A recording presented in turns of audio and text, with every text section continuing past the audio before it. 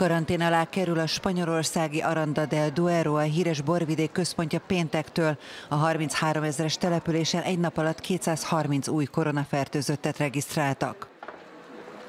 A legtöbb gócpont családi rendezvényekhez, illetve összejövetelekhez köthető, mondja a regionális kormány képviselője. A lezárás azt jelenti, hogy az embereknek tilos belépni vagy elhagyni a települést és annak környékét, kivéve ha dolgozni mennek vagy egészségügyi ellátásra szorulnak. Számunkra ez azért nagyon rossz, mert augusztusban általában a vásárlóink zöme turista. Ebben a helyzetben a forgalmunk nyilvánvalóan lezuhan, mondja egy helyi üzlet tulajdonosa.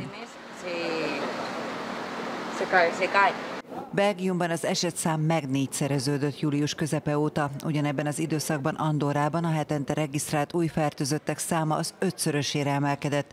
Ezért a hatóságok azt kérik, hogy csak azok utazzanak ezekbe az országokba, akiknek halaszthatatlan munkájuk van. Továbbá az Egyesült Királyságban felkerültek a veszélyes országok listájára, tweetelte Grant Shapps, brit közlekedési miniszter. Hogyha Nagy-Britanniába érkezik valaki Andorrából, Belgiumból vagy a Bahamákról, akkor szombattól kéthetes karanténba kell vonulnia.